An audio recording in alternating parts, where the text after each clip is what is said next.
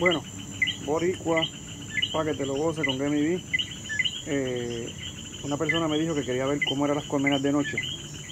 Pues miren, las colmenas de noche ya tienden a tapar la boca, como pueden ver, para que ningún depredador entre, ¿verdad?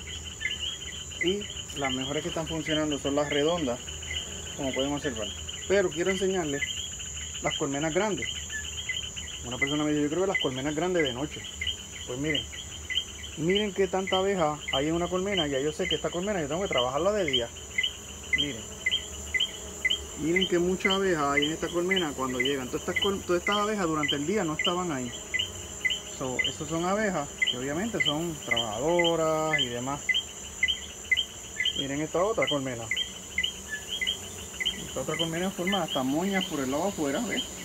Porque ya no caben adentro. Esta caja me está pidiendo otra caja obligado. Miren. Otra caja obligado.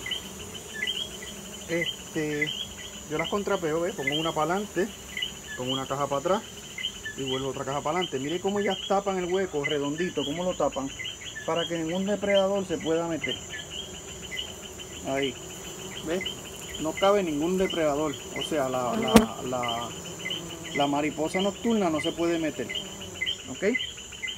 Estas son las cajas, las top bar.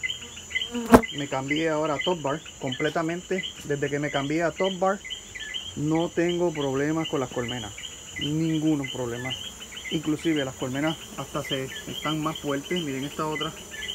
Y quería enseñarles la que sí tengo que trabajar obligatoriamente, que fue la prácticamente la... Miren, esto fue un split que hice una división. Y mire que bien va trabajando la división. ¿Verdad? Esta, miren que bien, esta también. Y esta también. Entonces ahora les voy a enseñar la colmena donde yo saco todas las abejas. Esta es la colmena que yo saco todas mis abejas. ¿Verdad? Miren. Esta muña está afuera completamente.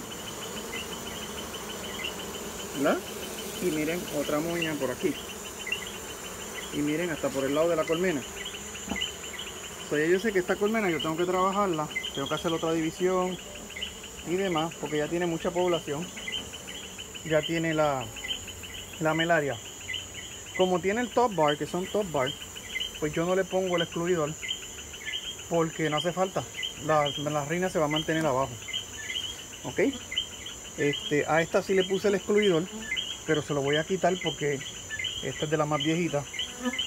No más vieja que aquella, pero quise hacer una más o menos una prueba y le voy a quitar el excluidor. Le voy a quitar el excluidor porque realmente no hace falta el excluidor. Así que este miren otra colmena más por acá. Cómo están trabajando